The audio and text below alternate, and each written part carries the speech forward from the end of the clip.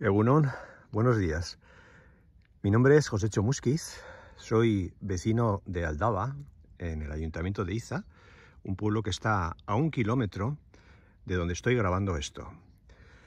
Eh, hoy es 3 de septiembre y eh, son las ocho y media casi y está saliendo el sol en la cuenca de Pamplona.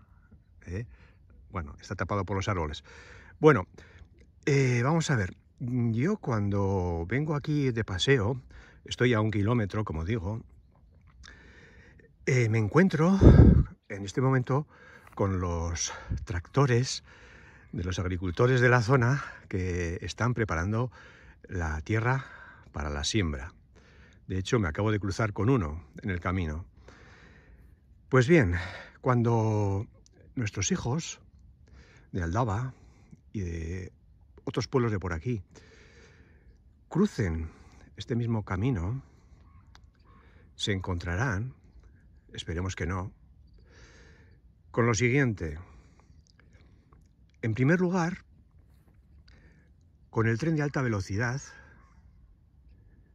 que pretenden que cruce, vamos a ver, porque con el contraluz no se aprecia bien, pero bueno, ahora más o menos por la mitad del, eh, plano, por ahí, ¿verdad? Hay un, al fondo, esa nave, pues por ahí, pegando, a la nave pasará, quieren que pase el tren de alta velocidad. Esperemos que no.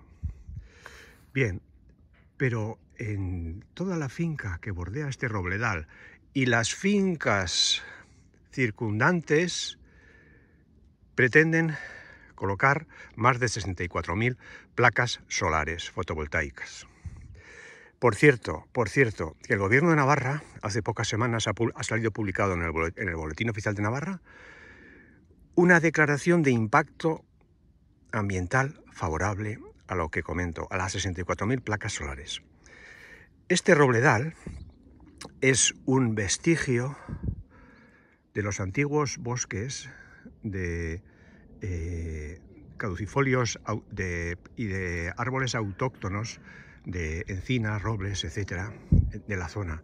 Una auténtica reliquia, declarada por, declarada, declarado por la normativa foral como bien absolutamente protegido, con una protección muy especial en el POT 3, en el Plan de Ordenación Territorial de la zona centro de Navarra. Pues a pesar de eso, como digo, declaración de impacto favorable, en la que, claro, el tema del robledal se lo pasan con un parrafito de puntillas porque no se atreven a decir nada, claro, el técnico que lo haya redactado, ¿no? Algo alucinante. Bueno, pues bien, eh, esas 64.000 placas solares irán eh, no solo eh, rodeando todo el robledal, todo el robledal, bueno, quitando unos pasos que dejan, les tenemos, les tenemos que agradecer, esas fincas que hay también al otro lado de ese, regacho, de, esos arbolillos, y otras fincas que hay pues al otro lado también, pero bueno, todas las 64.000, bordeando el Robledal también detrás mía, pero todas en Orderiz, ¿vale? En términos de Orderiz, bueno, salvo una pequeña finca en términos de Aldaba. Bien, pero aparte de eso, no solo eso, sino que aquí se ve, se puede apreciar una columna de alta tensión, pues bien, esta dicen que la van a quitar y Red Eléctrica de España pretende bordeando, perdón, rozando el Robledal por el sur, ahí donde enfoco, y además afectando a unos cuantos robles, una nueva línea de alta tensión del doble del doble de potencia que esta y del doble de altura en, sus, en las columnas y en sus, en sus apoyos, de hasta 80 metros, algo increíble, más, que el edificio, más altos que el edificio singular. Pero no solo eso, sino que nos amenazan también, pásmense, la empresa Forestalia pretende llevar la energía producida en Zaragoza, en varios parques eh, de Zaragoza, hasta Gatica, para de allí trasladar por el Golfo de Vizcaya a través de un cable subterráneo a Burdeos, a la zona de Burdeos, y pasan por todo Navarra y pasarán por aquí. Bueno, es, un despropósito en el que no me voy a extender.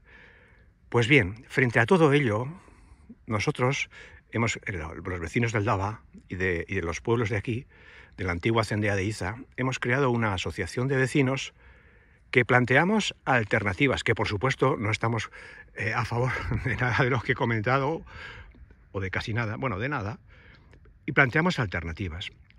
Para el tren de alta velocidad planteamos, por decirlo muy brevemente, que discurra por el trazado actual en todo lo posible, que es muchísimo más respetuoso medioambientalmente, eh, redactado por unos ingenieros en el siglo XIX, mucho más respetuosos que los actuales, que los que han diseñado el trazado actual del Ministerio. Planteamos, por supuesto, que, que la transición energética que debe hacerse naturalmente que sí, pero debe hacerse con planificación, con cabeza, con lógica, en zonas degradadas y no aquí, en, en, unas fincas que, por cierto, son de la máxima productividad.